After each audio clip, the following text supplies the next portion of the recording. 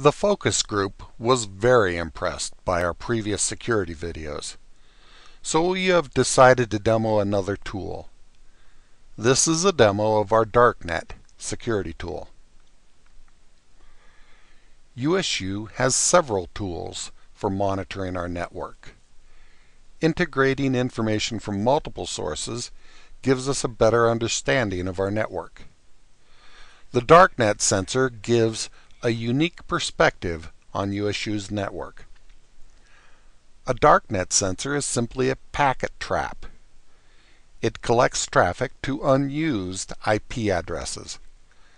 This TCP dump window is showing some of the traffic sent to USU's DarkNet. If an IP address is unused, then there should be no traffic to the IP. But on today's IPv4 Internet, every possible IP address is constantly bombarded with a variety of unsolicited traffic.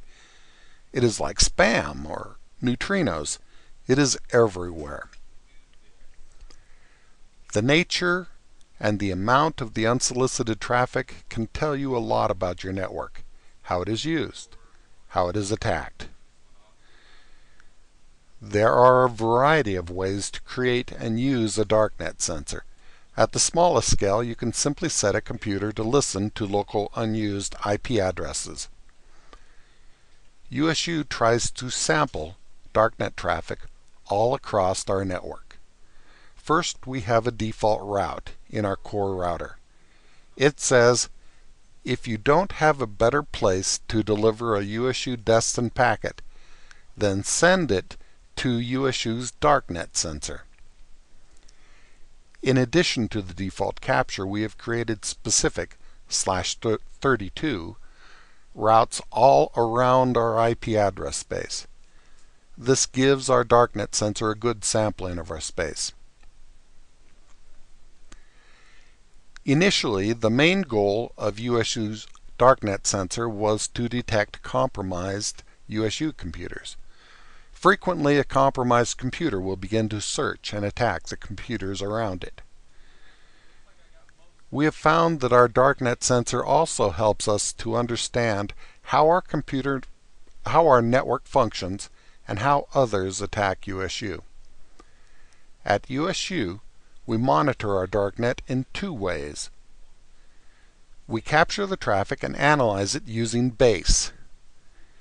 BASE isn't the best tool for this purpose, but it works and it's free.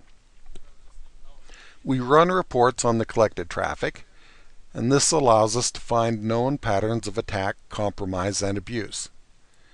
People who have lots of money use things like Splunk. Secondly, we also monitor the darknet traffic in real time using this scrolling TCP dump window. The hardware requirements are minimal we are running our darknet sensor on equipment that we literally salvaged from the dumpster.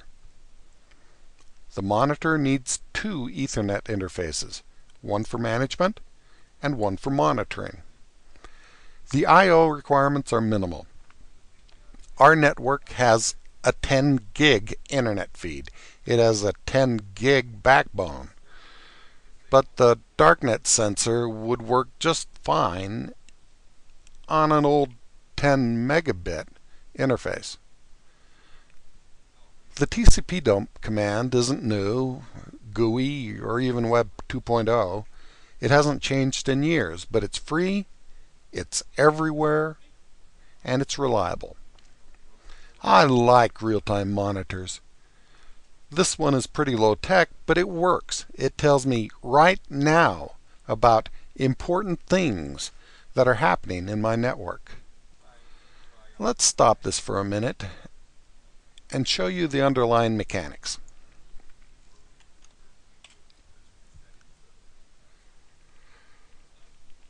Here's the current command. TCP dump listens to the monitor interface. It summarizes each packet on a single line. It ignores some type of local traffic then it pipes the output through an obscuring filter so you can't see my embarrassing dangly bits.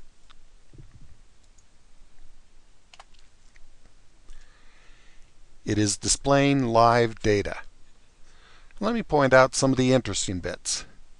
I can scroll the screen back and forth with my mouse wheel.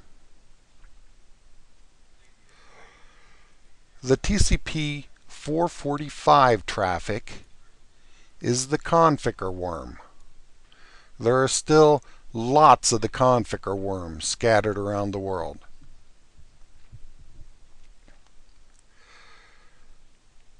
The TCP 389 traffic is an embarrassing local problem. Uh, it's an interesting problem, though. Laptops come to USU from all over. Some of them come from secret environments where secret people do secret things. These laptops are trying to call home and use their normal services. In the process, they are beaconing. They reveal information about the infrastructure of their secret place. They reveal their presence and their identity, and they expose themselves to attack. I contacted the managers of this secret place. After an initial bout of panic, weeping, and deep depression, they decided to do something about it. The problem is, if you have a standard laptop configuration, you always end up having a standard network fingerprint. Over the years, I've noticed that many laptops from government agencies and corporations have unique detectable network fingerprints. These packets to TCP 9100 are tragically broken. In the digital world, there is no love more true and enduring than the love of a Windows box for its printer. And even though the building where that printer resided was torn down eight years ago, still Windows seeks for the printer of its youth. I've tried explaining to the admins that they need to inspect the printer configuration and, remove any unused printers, but I believe that what they actually hear is Computer bad! Hulk smash!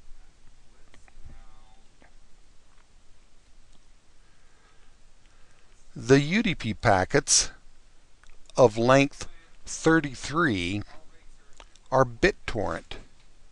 They're from various BitTorrent swarms, and they appear to be chaff.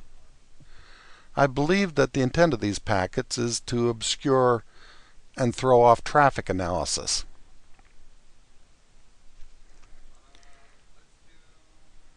The ping packets, uh, ICMP echo request of length 8, are from a botnet that is searching for the radmin protocol.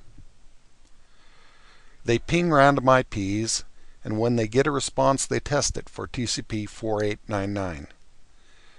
This botnet is primarily distributed in Latin countries, Central and South America, and Italy.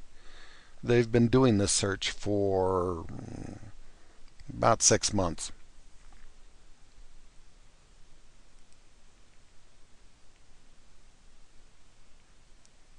the traffic, uh, where'd you go? There you are. The traffic to UDP 5060 is both a scan and an attack against voice over IP.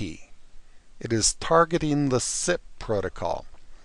These attacks are enduring and pervasive. Everybody who does voice over IP should protect UDP 5060. Darknet sensors are cheap. The war against hacking is at its base, and at, at its most important, an economic battle. Anybody who advises against a cheap, effective defense is either confused or has a vested interest in attack.